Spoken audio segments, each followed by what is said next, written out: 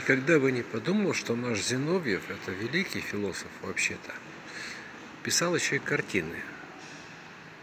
Вот это его. И сейчас еще будет.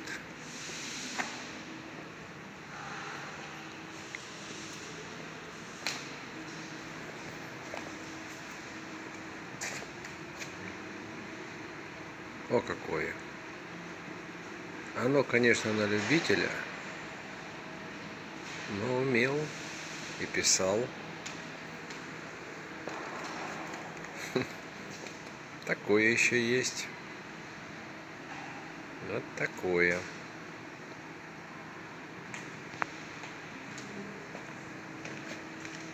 Это экспозиция в Ленинской библиотеке.